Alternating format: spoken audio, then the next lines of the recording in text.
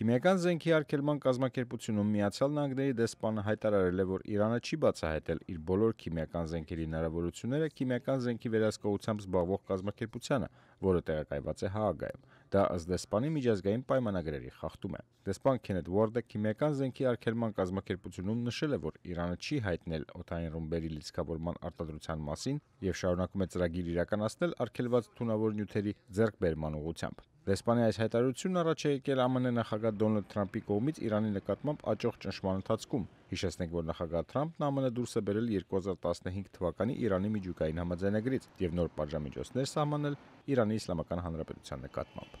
Արամ Ավետիսյան, Ամերիկայի ձայն, Վաշինգտոն։